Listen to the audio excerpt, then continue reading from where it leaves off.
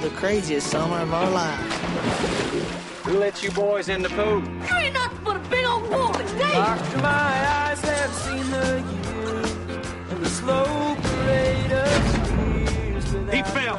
It was an accident. Now I want to understand. What kind of trouble are you in, I honey? have done What'd I do? You killed Taylor Jackson? Who else you tell that to? Nobody. Not yet. You can stop the sheriff if you try. You don't know he's responsible for this. No one saw what happened. I saw. Dear Peejoe, I don't really know that much about gambling, The boy will have to testify. No, I don't want him involved. but sometimes in your life that's just what you have to do.